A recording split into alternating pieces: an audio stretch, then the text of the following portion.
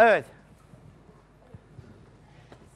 Bu arada sosyal paylaşım sitelerinde, Facebook'ta hep mailler atılıyormuş. Türkmenler seni merak ediyorlarmış. Bize de konser verecekler mi diye. İnşallah e, konser zaten Türkmenler için devamlı veriyorum. Bir de e, pazar günü yarın bir konserimiz daha var. Yarın nerede? Yarın Eminönü'nde. Eminönü'nde konser var bakın. Türkmenler için yarın 7'de başlıyor. Kaça kadar? Ben tesadüf söyledim ama bak demek ki Gece 12'ye iyi. kadar devam edecek işte. Öyle Şimdi- mi? Evet şimdi de söyleyeceğim şarkı yani bizim Türkmenlerin türküsü olarak geçiyor. Tüm Türkmenler armağan olsun buradan. Eyvallah. Tüm dünyada yaşayan Türklere armağan olsun. Bizden de şimdi sizin için Türkmenlerimizin bir tane türküsünü söyleyeceğim. Çok teşekkür ederiz. Senin beste mi yoksa Türkmenlerin mi? Bizim e, eski bir türkümüzdür Türk- yani. Türkünüz Evet. tamam. Hep Evet. pop söyledik bu sefer türkü söyleyelim. O Türkü yüzden-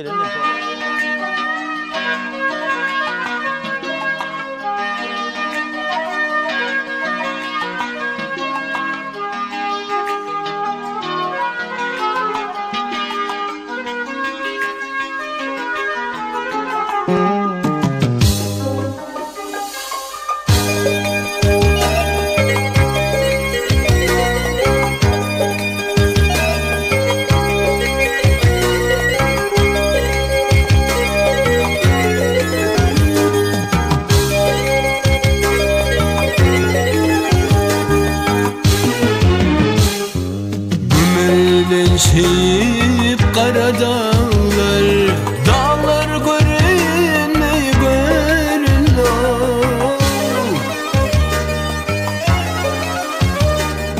Karadülpün